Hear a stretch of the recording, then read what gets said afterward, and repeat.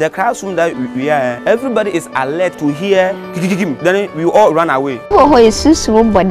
Sometimes witches can kill children. It's a local bank, so instead of them putting the money individually, they decide to farm together and put the money in this box. Sometimes when I say we use bamboo to manufacture bicycle, people think I'm crazy. Hail the world over. In fact, sometimes we feel like we are not part of Ghanaians. The chiefs have sold all the land.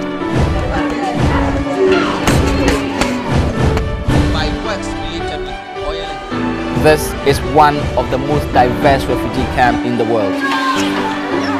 Uh, Vulnerable communities like this one People and Places is a series of human centered journalism of life and living it around Ghana. Every weekday on Joy News.